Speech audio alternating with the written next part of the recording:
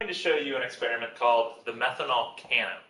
And all you need for this is a piezo starter igniter, which is actually just a grill igniter right here, a film canister, and then methanol.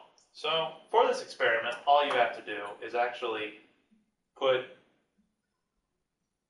about four drops into this film canister, and then close it quickly and then hold it in your hand in order to warm up the methanol and actually vaporize it. Once that is done, all you have to do, aim in a safe location, and then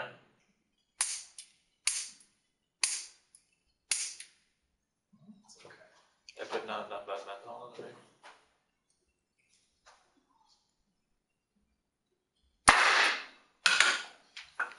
There goes.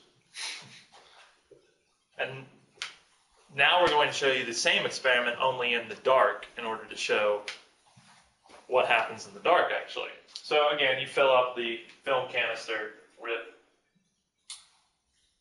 three or four drops.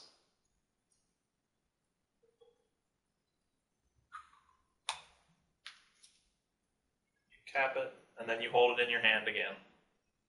And then once the lights are off, and you feel comfortable, and that's it.